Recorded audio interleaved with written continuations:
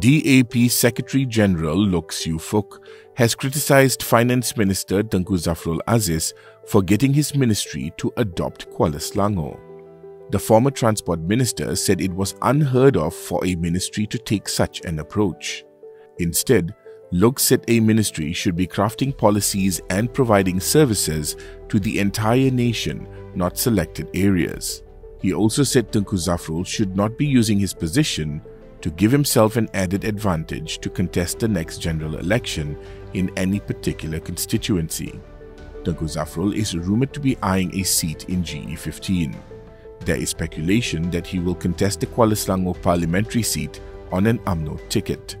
Yesterday, the finance minister said he wanted the ministry to adopt the district to help it develop. He also announced that Puncak Alam, a township within the Kuala district, had been given the go-ahead for the construction of an East Coast Rail Link station. However, Loke pointed out that any approval to construct an ECRL station should not fall under the purview of the finance minister but the Land Public Transport Agency.